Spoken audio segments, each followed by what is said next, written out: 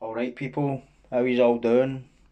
Hope you're all well. I'm uh, just making this wee video but before I get into it, um, uh, Shaun Attwood's dropped uh, the trailer for uh, part two of the podcast, so cheers for that. Um, the tablet ran out of charge halfway through it or something and I was demented trying to find the charger because uh, my son uses it the plug to charge his phone. So I had to sit in the the living room couch with the balancing the the tablet on the arm of the couch with the charger plugged into the wall and it was a bit kind of off centre view shall we say. But um got it done anyway so that'll be that'll be for the the the entire thing will be I think it's on on Sunday. So um had to turn the angle of the camera in here as well because like see sometimes when I'm doing these videos and like the, the, the sun shining in here is a pain in the arse man. And obviously um it's just it's just the angle and, and the light and that so it's, it is a pain but that's what it is isn't it um so I've got to talk about somebody that probably a lot of most likely heard of if you've done time right. A guy called Martin Hamilton right? And he's actually pretty he was a notorious case back in the day like talking maybe 90s maybe 80s all that shit right? Dangerous guy.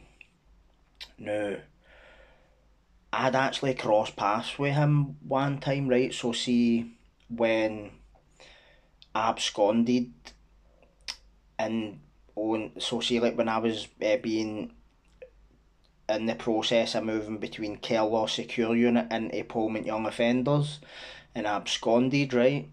Which I've already spoke about before. And when the police took me taking Hedge Road Police Station. I went to Glasgow Sheriff Court the next day, right? And obviously, I'm already serving a sentence, right? They didn't take me straight to jail because I was like Section 208 convicted young person, it's called a CYP. Um, and when everybody's waiting to be.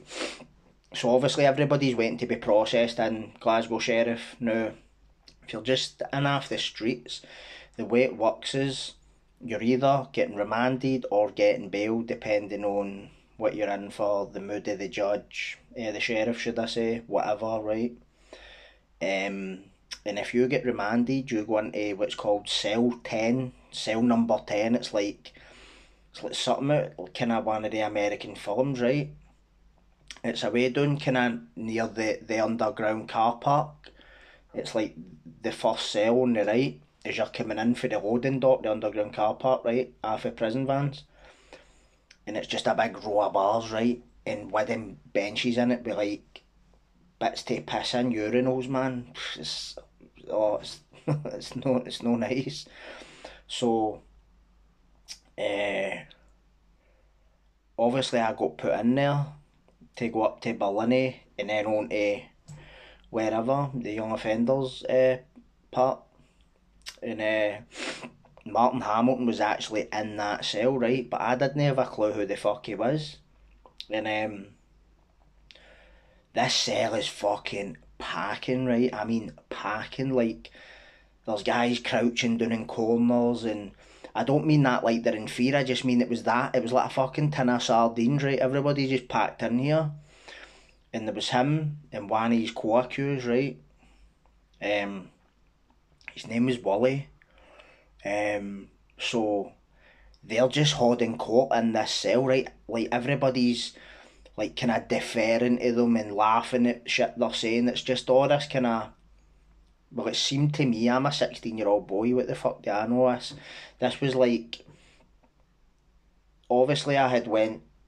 I'd been admitted to Barlinnie before as a 15 year old the year prior to this, but I'd never touched the halls or anything, so I just made it to the reception, done a week long again, then a year doing Kerelaw, and then all this shit happened, right? So I'm, I'm in Glasgow Sheriff Court, and um, we're on, as I says, we're on this fucking cell, right?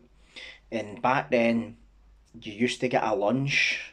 It was pie, chips, and beans. So Glasgow Sheriff Court must have had this fucking contract with a local chip shop.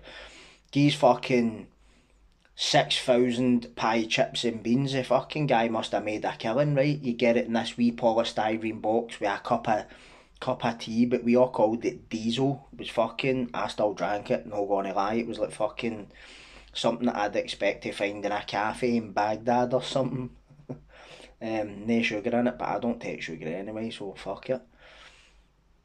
Easy come, easy go. But um, we're in this cell, right? And everybody's at their their pie chips and beans and fucking this this this young offender, but he's fucking huge, right? He was for the south side, six foot tall, built like a fucking built at the side of a, a house, huge. He's got put in the cell, right? And I think they must have thought he was older than he was because he didn't look like a young offender at all, right? But he was a young offender because I know that because I was in the young offenders with him after this. So he's come into the cell while we've already been sitting here for fucking ages and he didn't get like let into the cell by the screws like with like three other different guys. He just came in his cell so it's kinda like everybody just looks at you, right? So I'm sitting on the wooden bench next to a boy for my no my area Cambuslang but another area of Cambuslang. This was kinda the first time I'd ever met him. Um and that Martin Hamilton is obviously called Hammy, right? Obviously, there's other guys known by other disparaging nicknames. Um, but I don't know if um, I didn't see a lot of people kind of saying it to him, if you get me, know what I mean? Uh, so fucking my, the boy for my for Cambuslangs like to me, see him there, he, he's a dodgy cunt, he's a, we say a dodgy cunt, it means like don't fuck with him. But obviously, the media and all that call him fucking the Blackhill Butcher. He's not even fae Blackhill. I think he fucking grew up in Maryhill or something and moved to fucking Anderston or something like. Don't know.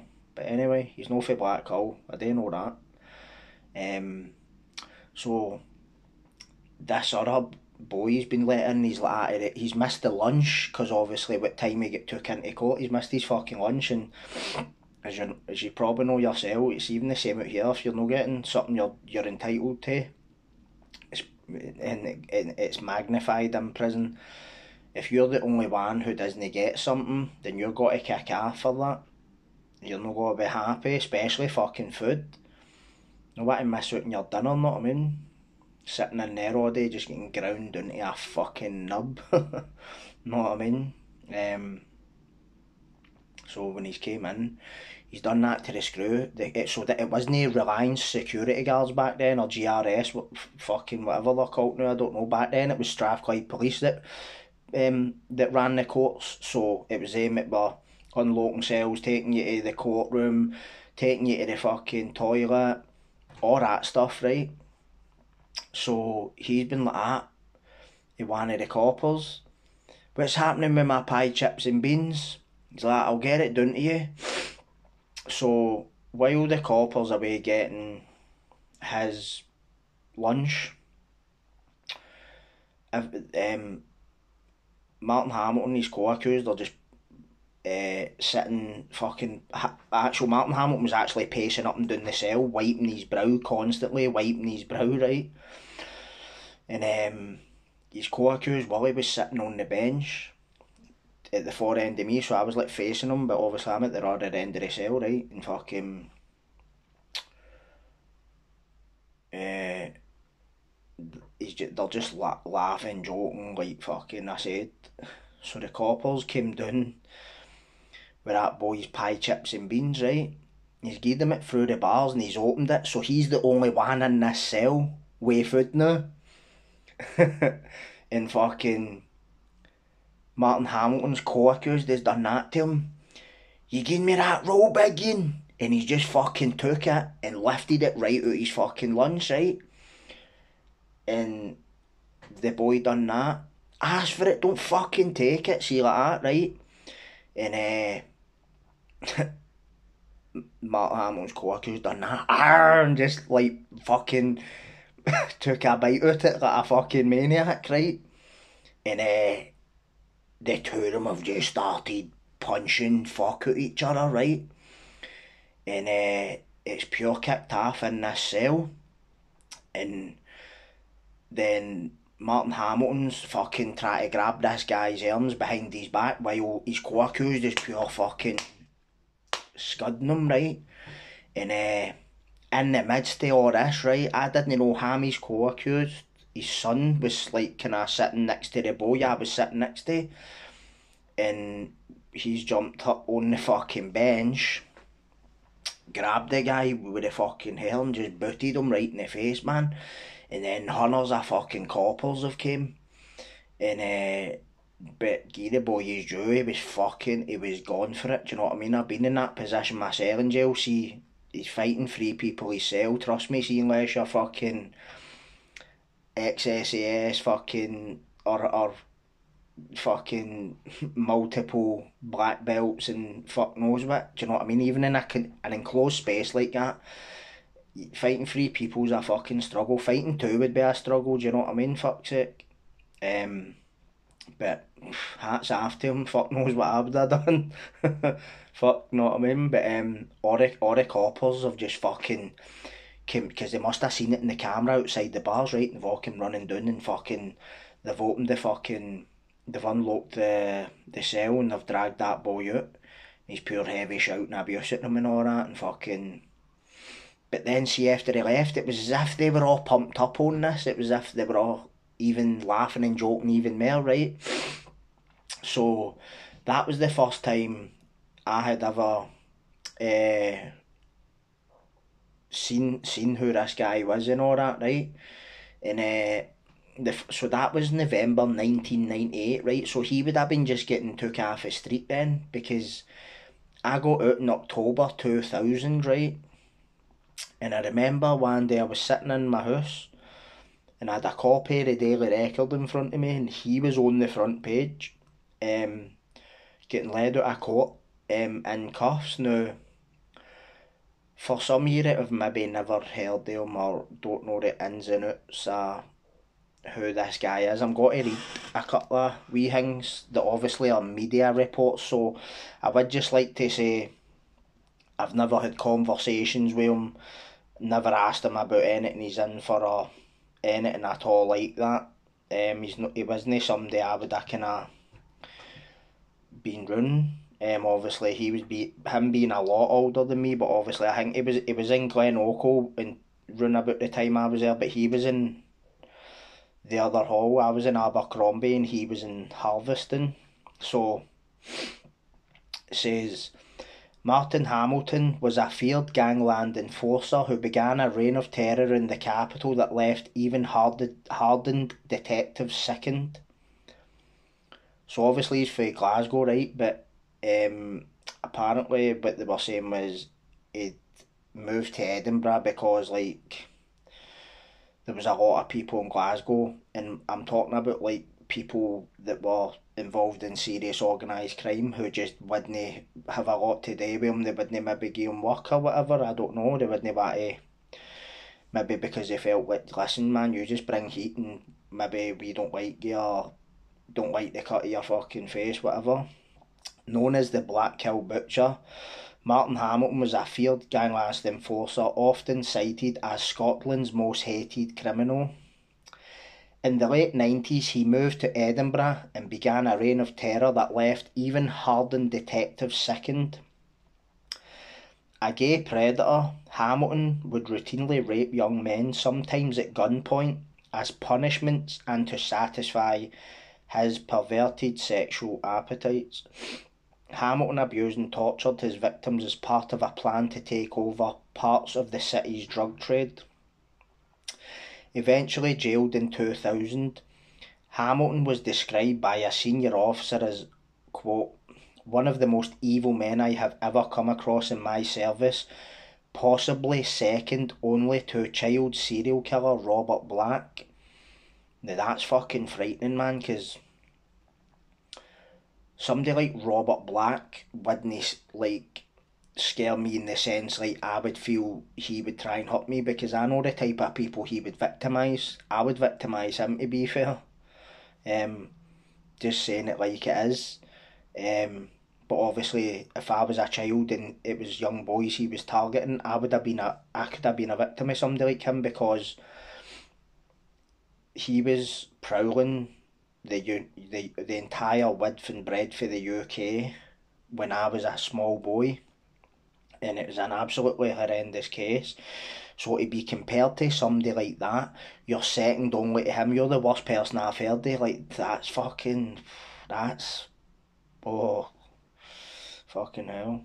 Um, released from prison, Hamilton returned to his criminal ways but went missing in April 2015 so basically, I'm getting a wee bit ahead, right? So he, I'd read that Martin Hamilton had actually he's like he's been fucking like I'd heard a mad story. Somebody in the jail told me this, but I can't mind who it was. Right, he was sitting in a motor. Now this may or may not be true, right? So I just want to say that because obviously this is like prison rumour mill or whatever.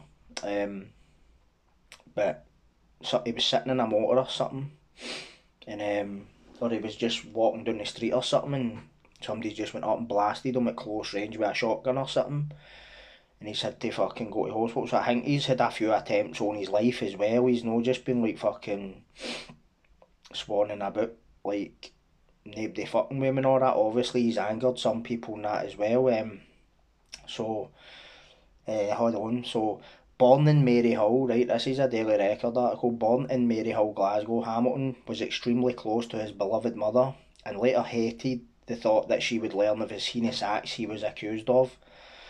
A source who knew Hamilton since the 90s said, even as a teenager, Martin was feared and hated. His fellow school pupils would try to avoid him. If he was getting on the school, pu- the school bus, kids at the back would get out the emergency door. Martin hated his own sexuality and I don't think he ever came to terms with it. He despised it being discussed. People would see him with groups of rent boys and he'd come on strong to young men. Then he'd ask you, how could you say he was gay? But during his criminal career, he used his sexuality as a weapon. Hamilton wasn't considered a Mr. Big in Glasgow in the 90s, dealing in drugs and participating in an armed robbery.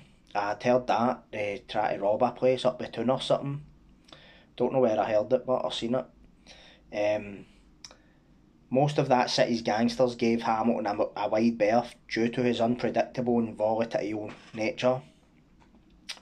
Standing only 5 feet 5 inches tall with a chubby frame, Hamilton cut a shambolic figure and was known for his quote, turbocharged talking at a mile a minute I think that's just a, a fucking West of Scotland thing, to be honest with you. Um, they say we talk fast, innit? But a number of criminal cases against him in Glasgow collapsed due to witnesses being afraid to testify. The source added Martin was a lone wolf. He had some pals, but no strong allegiances to any particular gang. No one wanted to work with him really. He was definitely Scotland's most hated criminal probably because of the sexual abuse he was known for. I think he was a true psychopath. With his options in Glasgow dwindling, Hamilton set out for Edinburgh in a bid to muscle in on its drugs market. He focused on the west of the city, particularly areas such as Broomhouse, or Broomhouse as you say there, I think, Wester Hailes and Sighthill. Detectives from the then Lothian and Borders Force admitted they knew little about Hamilton when he arrived, but a string of shocking assaults against low level dealers who owed him money would bring Hamilton to their attention. Obviously, because he's thinking they're not going to report me, are they? Because that's quite that's quite a common thing. Like if you're seeing like true crime, like if somebody's selling drugs, like and somebody thinks they can take it for you, they just fucking they'll get a bash man for you know man, you're lying turkeyed up. Where's the fucking goods? No good mate. Fuck that shit. Uh, in fact, his activities activities were so vile that police chiefs quickly put up a surveillance team from their major crime unit on a round the clock watch. They discovered teenage dealers were supplied with heroin and ecstasy by Hamilton, but faced horrific retribution if they failed to deliver the cash. Warped Hamilton even became infatuated with one of his dealers who was forced into hiding to escape his attention. In one incident, one of Hamilton's minions cut off a young man's finger and tried to gouge out his eye with a teaspoon. Fuck. Uh, officers also identified an Edinburgh publican targeted for extortion by Hamilton. The businessman said, I would rather pay him another 30 grand than give evidence against him. Another 30 grand, so he took 30 grand probably. But Hamilton's downfall came when a teenage couple bravely stood up to him in court. The girlfriend and boyfriend were held captive for 11 hours in a flat in Anderston, Glasgow, during which they were scalded with boiling water and stabbed through the face by another co-accused. I don't know if that's the same guy that he was in court court with that day I was there, but because um, he was he's no named in any of these articles. So the victims were then forced to stand in a bath so they would not drip blood onto carpets. See when see when I read that, I'm not going to lie, I just had a mad vision in my head. Stop imagine that was you standing there and that these maniacs have got you in a gaff just stabbing fuck at you and torturing you and you're standing in a fucking cold bath so you don't fucking mess his carpet up, know what I mean? Fucking hell. Uh, aye, so I read that about the bath. Um, the witness to testify allowed detectives to revisit Hamilton's victims in Edinburgh and some agreed to provide statements. So basically I think when that boy that couple have testified, it's opened the floodgates for everybody coming forward, which usually happens. You see that happening in a lot of cases, like one per everybody's like shocked or scared or shamed into silence, right? And then um, when one person just goes, no, what fuck yes, man, I don't care if you're calling me a grass, a this, a that, what fuck you, man, you, your time's up, do you know, and like, at the end of the day, like, see when you're living any sort of life like this, if you're just like it's what it's what somebody in Shotts one says to me. Be careful how you treat people on the way up because you don't know who you're going to meet in the way down. Do you know what I mean? And there's good karma and there's bad karma. Know what I mean? Um, in 2000, Hamilton was found guilty of 11 out of 14 charges involving the sale of drugs, abduction, assault, and torture. Judge Lord Kingarth told Hamilton he took, quote, sadistic pleasure in the infliction of pain and the inspiration of real ter- terror, so inspiring terror in people. He passed a life sentence with a minimum recommendation of nine years, so I think that's like an IPP as they call it in England, but up here we called it an OLR, Order for Lifelong Restriction. Basically, it's a discretionary life sentence, not a mandatory one, the distinction being mandatory life is for killing people and all that, and the other one's just for like if you're just an incorrigible offender or a seemingly incorrigible offender. Um, the six week trial was held amid tight security, in Inverness as Hamilton had walked free from 12 previous High Court trials because witnesses were threatened. 12 High Court trials? Fucking hell, man. Know what I mean? Those who testified were placed in pol- police protection schemes. Um, a source said, so it says Hamilton allegedly abused prisoners while behind bars. Now, as I said before, when I was in Glen Glenochil, he was in another hall and I never kind of heard anything. Obviously, it, it might have been up to shit because, as you know yourself, man, some people go to jail and don't get better, they get worse.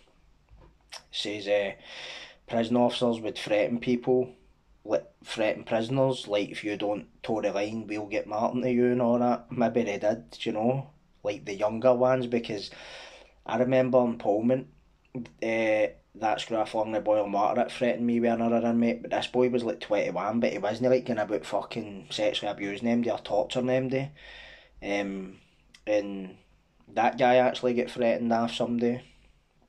Um, but it wasn't me, obviously. I was only 17, he was 21, he was a lot older. But I think he ran into some problems he's in. Um, so anyway, Hamilton was released from HMP Shotts in September 2014. So in September 2014, I was still in Low Moss, right? By the following April, so April 2015, he had disappeared. Now remember he's out on life licence. An arrest warrant was issued after he breached parole conditions by failing to turn up at court. Detectives were trying to establish his whereabouts when his remains were found. A dog walker had stumbled across his grisly grave. A post mortem revealed Hamilton, 53, had suffered serious injuries and died soon after he was last seen. So basically, he was uh, lured somewhere and basically beaten, fucking stabbed fuck out um, all this shit, right? And the funny thing is, right, see when I was in Low Moss, um, there was a rumour going about that he had been murdered before it became public, right? And I find that quite, I don't know, because as I've always said, see any time a murder happens in Glasgow, right, or a big a big bank rob, whatever, see something hardcore, I can guarantee you somebody in Barlinnie knows about that before the coppers do. Um, and that that that was I've all I've always said this because obviously people talk and they don't tell do all that shit right. And I remember I was lying in my cell in Low Moss one night and I was watching Crime Watch right. So this is after all people are saying Hammy's been murdered, Hammy's been murdered, he's dead, Hammy no, well they weren't saying murdered, they were saying dead, right? So there's a distinction here. Being dead doesn't necessarily mean you've been murdered, right? So everybody is saying he was dead, right? And then I remember I was lying in my cell one night and I was watching Crime Watch, right? And uh, they were doing an appeal for his whereabouts. So they didn't know where he was. They were looking for him. And see when his picture his picture came up on the screen, the guy next door must have been watching this because all I heard was, "Oh what?" and I was like, "Fucking hell, man!" Just it made me laugh. I'm not gonna lie, just because like a lot of people were saying he he died, right? So um, it says here that he's be all they found was his skull and his spine, so he'd been fucking lying dead in a shallow grave in West Lothian somewhere. In a in a like no a forest, you know what I mean? Let's uh, t- trees, woods, not um pan breed for about eight months. So obviously the elements and animals maybe have fucking done done the business on them. Like nature's took its course. Um, the source said Martin got involved with this drug deal after being released. He had few other options because no one would work with the would work with him. He was too hot for everyone, but he got greedy and ripped the guy off. That's why he was killed. Um, in March 2017, the man accused of his murder was freed from jail because he was dying. Liverpool born James Farrelly, 53, returned to his home in Blackburn, West Lothian, passed away a few days later.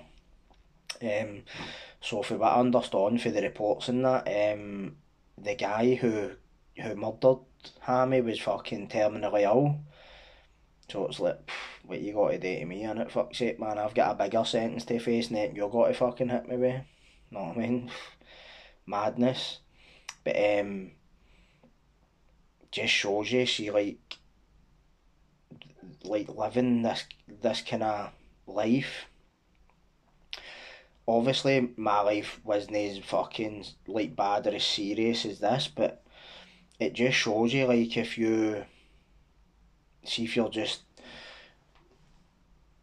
committing the most horrendous acts on people and like no doing anything nice for people. You're just always fucking looking for an angle, looking for how can I get one hour on you. Um, what can I get out of this? What can I gain for this? Everything's an angle. Like your life's got to be shit. Do you know what I mean? And even though I, I, I didn't think like that as a kid, like I wasn't always looking to get one hour on people. Like if you were nice to me, I was I was pretty alright. But if my buttons were pushed, I'm not gonna lie, I had a temper and all that. And um, as I've said before, been on receiving ends, and the I've obviously dished it.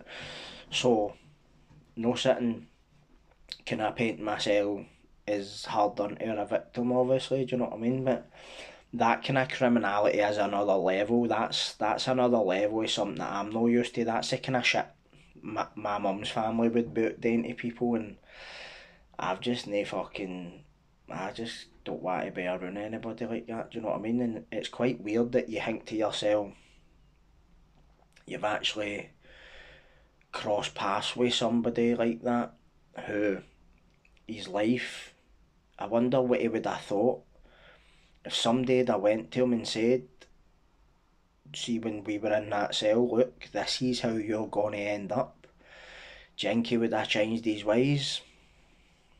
I don't know, but because um, they say that when you're that type of personality, but the age he was then, say he was in his thirties then,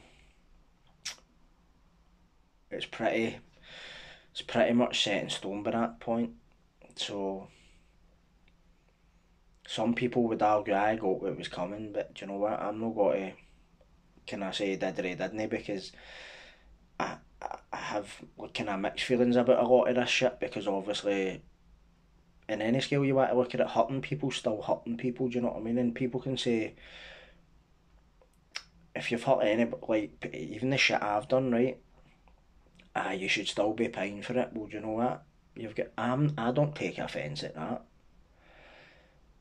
Let me ask you this then. If you think that, see the people that have stabbed me and never done a day in jail, what do you think of that? Know what I mean? Do you think they should be always paying for it? Um, I was just the daft fuck that always got caught for what I was doing. But as I say, I didn't get caught for everything. But the things I got caught for, I done a lot of time for it, and rightfully so not got to sit and say, oh, I, I'm not, it's no me, you know what I mean? But some ways I must paying for shit, but that's just the cross anity do you know what I mean? And um, just the fucking way it is. Maybe that's what separates me from people like him. Um, and she she is an ad an, an added kind of note to this one of Martin Hamilton's closest friends, for back when he was like that, was um, murdered coming out of a pub up in the East End, maybe around about that time that he got killed. He was a young guy, got fucking young guy about twenty eight, done him in man. You know what I mean? And see see my point is see if you're just going about being violent constantly, just engaging in violent behaviour, and I mean mindless violence, there's tactical violence, and there's just mindless violence, right? And when I say tactical violence, I mean like fucking like war and all that, right? That's not what I I was out doing. Mine was mindless violence, like fucking shit like that. But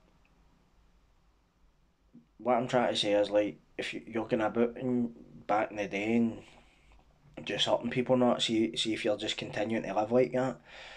Like there's some young guy just fucking murdered him, know what I mean? So you're just sitting thinking like fucking hell man, it's just a big evil roundabout, do you know what I mean? So madness. Um so hope that wasn't um too morbid. Obviously I come on done that funny story last night while I could fucking remember it because somebody jogged my memory. fucking The Sopranos, not I mean. Too funny. Um, so got my class tonight, so um, hope you all have a good night. Um, might come back. I'll be back on later because I've got my class. I need to take my son to his class as well before that. So um, I doubt I'll be back on later. But um, check out that trailer that Sean just put on if you want. Do you know what I mean? Um, might find it interesting. Uh, for any of you that have watched part one. So uh, take care, and um, I'll see you next time I'm back on. Catches.